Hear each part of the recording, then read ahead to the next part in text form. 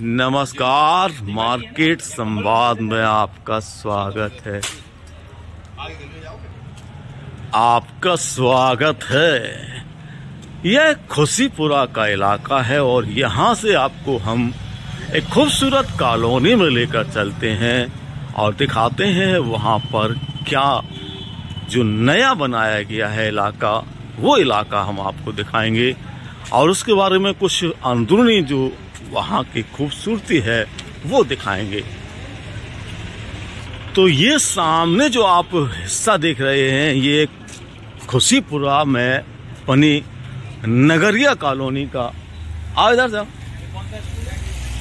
तो ये है झांसी के खुशीपुरा की नगरिया कॉलोनी, जिसको लेकर हमारे कई सारे सब्सक्राइबर पूछ रहे थे, साहब, नगरिया कॉलोनी दिखाइएगा। हालाँकि काफ़ी बड़ी है यह कॉलोनी।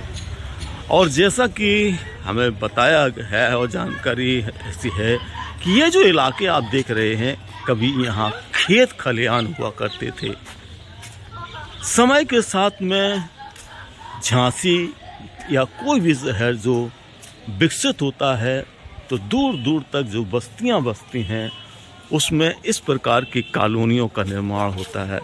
जैसे आपने देखा होगा कि आवास विकास और अन्य जो कॉलोनियाँ नई नई डेवलप हुई हैं, उसी तरह ये नगरिया कॉलोनी डेवलप हुई है। अब इसका नाम नगरिया कॉलोनी क्यों है, इसको लेकर हम ज़्यादा जानकारी अभी नहीं हमको है, लेकिन ये इलाका बहुत खूबसूरत है। आप देख सकते हैं यहाँ पर इंद्रप्रस्थ नगर, नगरिया कॉलोनी के नाम से यह जाना जाता है।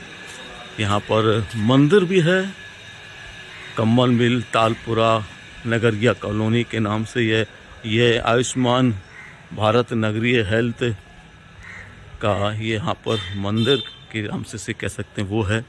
और ये अंदरूनी हिस्से हैं नगरिया कॉलोनी के। बेहद खूबसूरत चौड़ी सड़कें खूबसूरत मकान।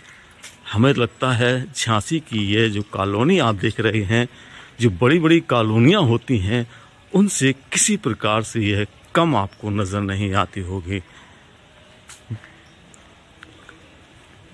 इतनी गाड़ियाँ खड़ी होने के बाद भी सड़क का जो चौड़ीकरण है, वह किसी प्रकार से आपको कम नज़र नहीं आएगा। और यहाँ पर जो सभासद हैं, श्रीमती रीना राय, वो इनका यहाँ पर बोर्ड देख सकते हैं।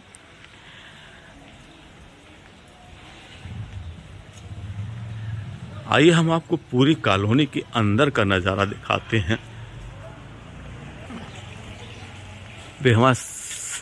नंदसूद इलाके का यह अंदरूनी हिस्सा है। यह खूबसूरत पार्क भी यहाँ है। नगरिया कॉलोनी का।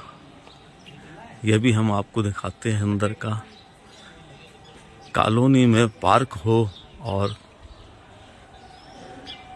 खूबसूरत हो। जिम का भी यहाँ पर आपको जो साधन है, वो है मॉर्निंग वॉक के साथ में आप जिम भी कर सकते हैं।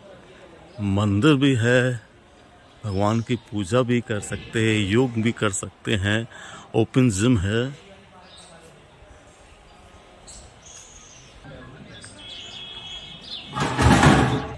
ऋतिक तो ये ये वार्ड नंबर चौदह खुशीपुरा द्वितीय में आता है इलाका। एक नई झांसी की ऐसी कॉलोनी जिसको आपने देखा नहीं होगा। हालाँकि यह कुछ बरसों पहले ही डेवलप हुई है, लेकिन खूबसूरत बहुत है। यहाँ पर जो आवासीय आप बिल्डिंग्स देख रहे हैं वो बहुत अलग हैं और हम आपको इसके कई तीन चार हिस्से हैं। अगर इस ये इन हिस्सों को अगर आप पूरा पूरा देखेंगे तो कई सारे गलियाँ, कई सारे मोड़ के बाद यहाँ लेकिन आप जिस मोड़ से भी आप निकल के अंदर आएँगे इन मकानों की खूबसूरती और सड़क का चौड़ीकरण आपका ज़रूर मन मोह लेगा। ये कॉलोनी छोटी कॉलोनी नहीं है, काफ़ी बड़ी और काफ़ी विशाल एरिया में फैली हुई है। लेकिन कॉलोनियों में भी यदि मोड़ ना हो और रास्ते ना हो तो कोई शहर पूरा नहीं माना जाता है। खासतौर से झांसी तो ऐसा इलाका है कि जहाँ आप बड़ी से बड़ी कॉलोनियों में भी जाएँगे तो वहाँ के अंदरूनी हिस्से इसी प्रकार मोड़ वाले ज़रूर दिखाई देंगे।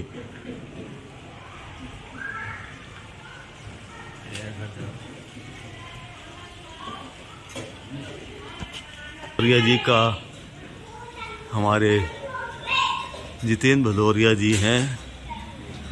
उनका निवास है। भारतीय प्रजाशक्ति पार्टी से ये जुड़े रहे हैं। यहाँ से आप मुख्य मार्ग पर भी आ जाते हैं,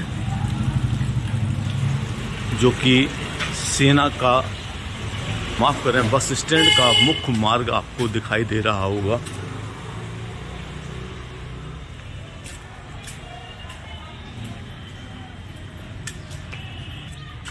और इस प्रकार ये आप अंदरूनी हिस्से से निकलकर पूरा यहाँ आपने भ्रमण किया।